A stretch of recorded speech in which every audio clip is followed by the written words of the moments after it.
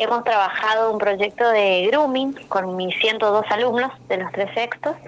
eh, aclarando primeramente que el grooming es el acoso sexual de un adulto, varón o mujer, a un niño, niña adolescente a través de un medio digital, a través del uso de las redes sociales, de los juegos, de las plataformas en línea que permitan la interacción entre dos o más personas. Em, partimos de esto, de esta problemática que tienen los chicos o que pueden padecer algunos de los chicos a partir de los talleres que damos de educación sexual integral eh, trabajamos el tema del grooming.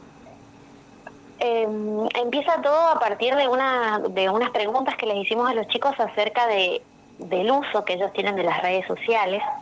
de los peligros, si ellos conocen qué peligros pueden tener el uso de las redes sociales.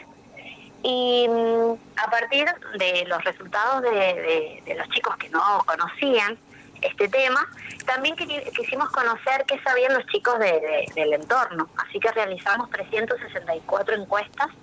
a mm, niños, niñas y adolescentes entre 10 y 16 años. Los resultados de esas encuestas, la verdad que nos alarmaron mucho, porque la mayoría eh, de, de los chicos, por ejemplo, el 86% de todos esos chicos tenía celular propio, son menores de edad el 83% utilizaba las redes sociales, em, el 51% tenía el perfil público, el, por ejemplo, el 65% había conversado alguna vez con algún desconocido. Y, mm, por ejemplo, el 52% de todos esos chicos, los padres no controlaban lo que ellos realizaban en Internet. Entonces, a partir de esos datos, nos dimos cuenta que los chicos, mis alumnos y también los chicos que encuestamos, necesitaban conocer estos peligros para poder prevenirlos.